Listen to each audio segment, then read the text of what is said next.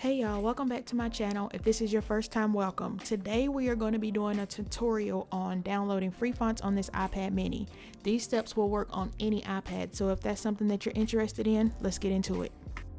Now the fonts that we are downloading today are for personal use. That means you can use them in GoodNotes on your planner and in your journal, but you cannot use them on anything that you are planning on selling. Now let's go to the App Store. And you're going to want to search for the app iFont and download it.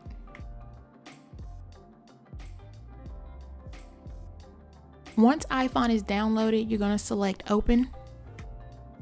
Over here on this right hand side, you have a list of all the font websites that you can download your fonts from.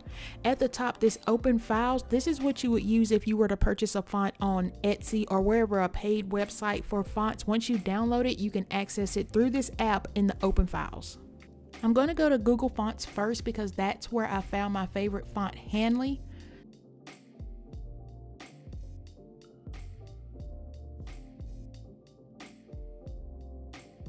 Most of the other fonts that I've used come from DaFont. That's my favorite site to download fonts from. So now I'm going to go in and when you first bring up DaFont, it gives you a list of the most recent fonts that have been added to the site. On DaFont, you can search for your fonts by the name if you know the name of a particular font that you want to use, and you can also search by category.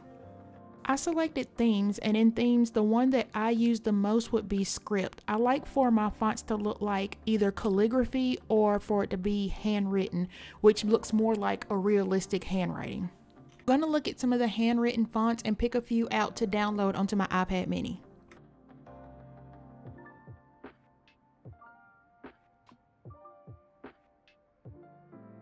Once you find a font that you want to download, you're going to select download and then you'll get a pop-up box. At the bottom of the pop-up box, you'll have two choices. The first one you can import and continue browsing and the second one is to import. Well, if you want to look for more fonts, you want to select import and continue browsing.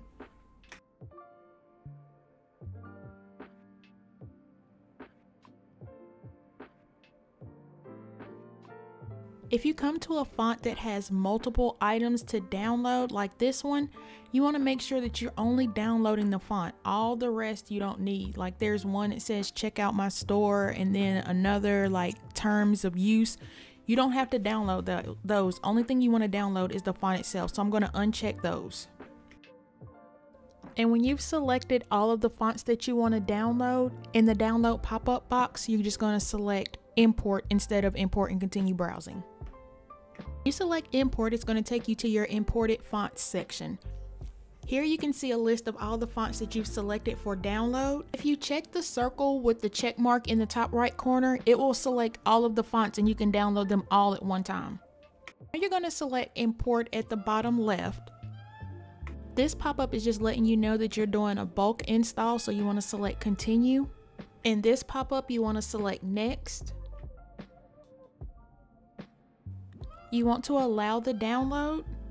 Once you've allowed the download, now you'll need to go to your settings to finish the process. This next pop-up box will take you to your settings. So you want to select open settings. And when your settings open, you want to go to profile downloaded. Profile downloaded will be on the left hand side towards the top. Once you've selected profile downloaded, you'll get a pop-up to install the fonts that you have downloaded. You want to select install you're going to enter your passcode here. I'll be right back. And now you're going to select install two more times and the download process will be complete. Now when you go to GoodNotes, your fonts are ready to use. I'm going to go in GoodNotes and show you how to access your fonts you've downloaded. So once you've opened the GoodNotes app, you want to make sure that you select the text tool from the toolbar. Now if you go over to the list of your fonts, you can use the drop down to search for your font. You can type in the name of the fonts in the search toolbar and pull up pull them up that way or you can scroll through the list and find the fonts. I'm going to search a few of the fonts I downloaded so you can see them in GoodNotes. We're going to start with Handlee. And just a reminder, remember when you change your fonts in GoodNotes, you want to go back to the text tool and save it as your default. If you don't save it as your default, every time that you use your text and you stop writing, it's going to convert back to whatever that text was you changed it from. So make sure it's saved as your default if that's the text that you want to continue to use. Now I'm going to search for the font handy stuff I downloaded.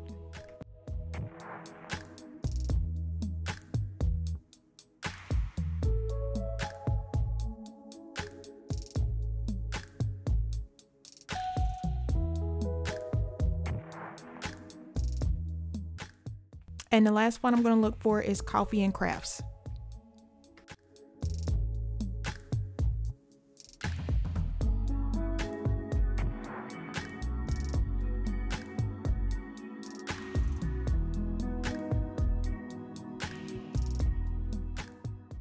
And that's it. I hope you found this tutorial helpful. If you have any questions, leave them in the comments below.